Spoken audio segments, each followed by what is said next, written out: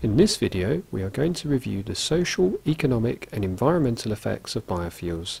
You will find it useful to have studied the videos carbon footprints and carbon neutral and biofuels before continuing with this video. Biofuels come from living organisms. These could include biodiesel made from certain vegetable oils or the methane biogas made by decaying manure or sewage. Finally, another example of a biofuel is bioethanol obtained from plant materials and used as a fuel. Whilst in principle using living matter to create fuel for energy sounds a good one, there are both negative and positive aspects.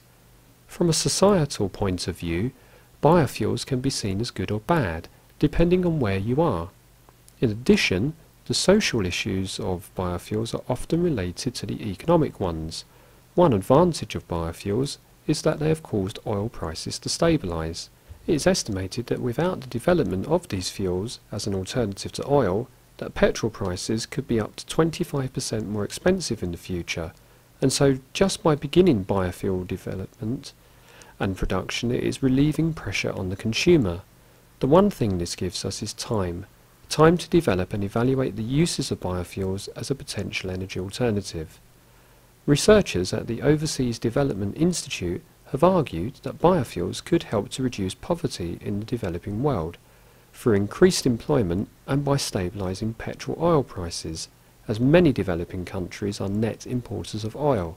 However, the sustained use of biofuels is a complex issue, and its transport, the duties paid on it, will affect economies of many developing nations.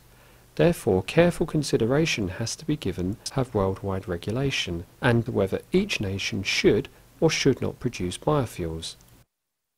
The biggest social problem is that biodiesel and bioethanol comes from plants. Can you think how we generally use plants and where they are grown? This will help you see the problem. Pause the video, think about this and continue when you are ready. If you suggested that most of the plants that we grow, or crops, are our food supply, you've probably identified the key issue.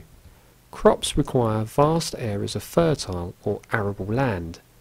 If more of this is used to grow plants for biofuels, then there is less arable land available for growing food. For this reason, the production of biofuels could contribute to the global food shortage. This is often referred to as the food versus fuel debate and is one that needs serious consideration. An economic point is that modifications are necessary to run internal combustion engines on biofuels. And two depends on the type of biofuel used and the engine type. For example, whilst petrol engines can be run on biobutanol without any modifications, minor modifications are required for them to run on bioethanol or biomethanol, and this would be costly. Similarly, other modifications are needed for diesel cars, so that they're able to run on biodiesel, so if you've just bought a petrol or diesel car, would you be willing to do this? The environmental effects of biofuels are also linked to the social effects. In order to gain land to grow crops suitable for biofuel production, massive deforestation has to take place. To understand the issue, think about what key process trees do and why it isn't beneficial to the environment to have mass deforestation for land space. Pause the video Think about these questions and continue when you're ready. The answer is that trees remove carbon dioxide from the atmosphere by photosynthesis and produce oxygen. Removing trees to make space for biofuel crops contributes directly to global warming by allowing greenhouse gas emissions to increase. In addition, the soil used to grow crops will become depleted of nutrients over time, as growing crops on deforested land accelerates this process. There are four main bioethanol crops, corn, sugarcane, sweet sorghum and pine, which are hugely farmed. Increasing their production to meet energy demands means that fresh water supplies could also be depleted, reducing the amount of fresh water available for drinking.